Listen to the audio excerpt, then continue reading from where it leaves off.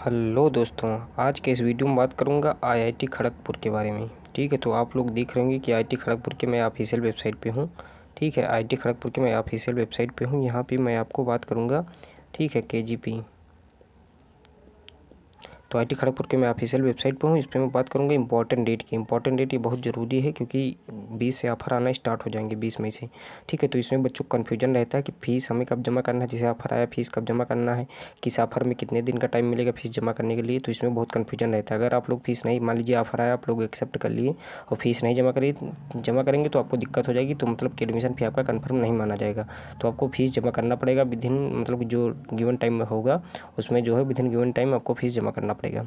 ठीक है? तो ये जो है आप लोग देख रहे होंगे कि ये जो ऑफिशियल वेबसाइट पे मैं यहाँ पे हूँ ठीक है तो इसका अगर बात किया जाए तो कमेंसमेंट ऑफ़ कोप रजिस्ट्रेशन तो कोप रजिस्ट्रेशन अट्ठारह मार्च से हुआ था, ये तो आप लोग कर ही चुके हों कमेंसमेंट ऑफ़ ऑनलाइन एप्लीकेशन ये तो बीस से ये भी हो चुका है, ठीक है। वेबसाइट क्लोजर फॉर सबमिशन अट्ठारह में ये भी हो चुका है इंटरव्यू फॉर इलेक्ट्रिकल इंजीनियरिंग केवल दो ही ब्रांच में इंटरव्यू था और ब्रांच में था नहीं, इसका मैंने मतलब वीडियो बना चुका हूँ तो उस पर मैंने चर्चा की थी, केवल दो ब्रांच में इंटरव्यू होगा, ठीक है इलेक्ट्रिकल इंजीनियरिंग और क्रायोजेनिक इंजीनियरिंग तो इसका इंटरव्यू पाँच से सत्रह मई के बीच में ख़त्म हो जाएगा, ठीक है। तो इसका इंटरव्यू ख़त्म होने के बाद आपको क्या करना है कि उसके बाद फिर कोप का राउंड स्टार्ट होगा। तो कोप का राउंड में जो है, कोप का राउंड तो कोप का राउंड जो है, एक मई से आपका जो है, बीस मई से आपका स्टार्ट हो जाएगा। तो बीस से बाईस मई के बीच में आपका जो है कोप का फ़र्स्ट ऑफ़र आएगा।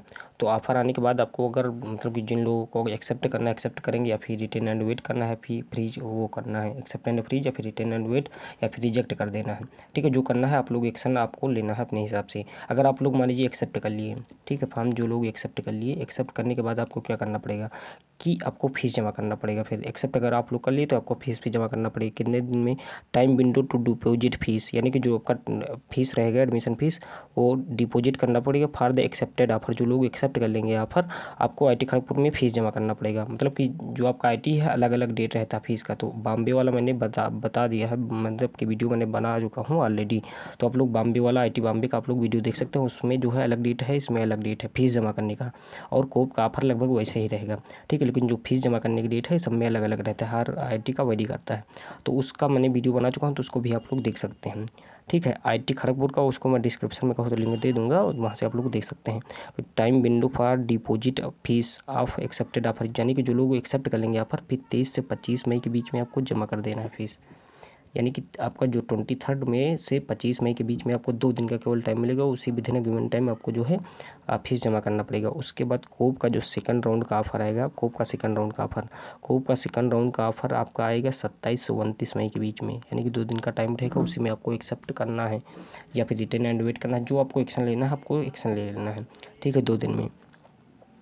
तो दो दिन में आपको जो है, ले लेना है।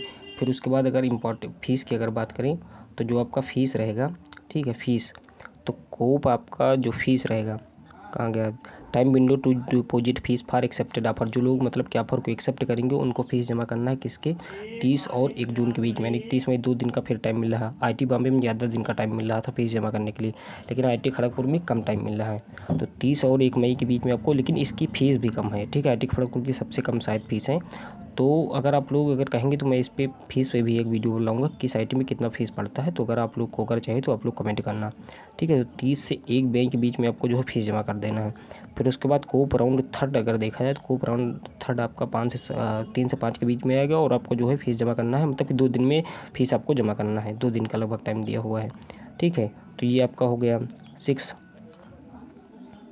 और उसके बाद अगर देखा जाए तो आपका जो है टाइम विंडो चौथा राउंड आपका दस से बारह के बीच में आएगा, तेरह से पंद्रह के बीच आपको फ़ीस जमा कर देना है। Last date to withdraw seat मान लीजिए जो लोग एक्सेप्ट कर लिए हाँ इस पर थोड़ा चर्चा कर लेता हूँ।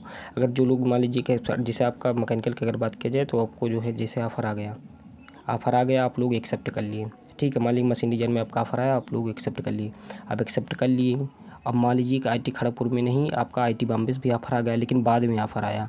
तो बहुत बच्चे क्या करते हैं कि आईटी खड़गपुर नहीं चाहिए, फिर बॉम्बे चाहिए। तो आप लोग इसको भी मतलब कि विदड्रा करते हैं आपका एडमिशन फ़ीस भी जमा कर दिए हैं, लेकिन उसके बाद में भी विदड्रा करना चाहते हैं तो आप लोग अगर विदड्रा करना चाहेंगे एडमिशन आप लोग मतलब कि जैसे एक्सेप्ट कर लिए, उसके बाद भी विदड्रा करना चाहेंगे तो आप लोग तेरह जून को आप लोग ये कर सकते हैं। अपना एडमिशन विदड्रा कर लेते हैं।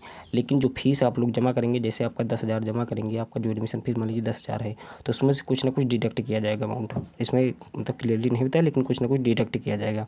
ठीक है। उसके बाद जो कोप राउंड फाइव आएगा कोप राउंड फाइव आपका सत्रह से उन्नीस के बीच में ये आएगा और आपका फ़ीस जमा कर देना है बीस से बाईस के बीच में। तो ये आपका जो है ओवरऑल आप, आपका ये इंपॉर्टेंट डेट था। तो इंपॉर्टेंट डेट बहुत ही ज़रूरी है। हर आईटी का अलग अलग होता है। फ़ीस आपको विद इन गिवन टाइम आपको जमा करना पड़ेगा। ठीक है। तो आपका जो है लगभग हो चुका है। ये आपका राउंड फाइव तक आपको हो चुका है। तो आपको विद इन गिवन टाइम आपको फ़ीस जमा कर देना है। ठीक है, और आप लोग आई टी बॉम्बे का भी वीडियो आप लोग देख सकते हैं। ओके चलो फिर मिलते हैं नेक्स्ट वीडियो में। ठीक है, और आप लोग भाई चैनल को ज़रूर सब्सक्राइब कर लीजिए। Thank you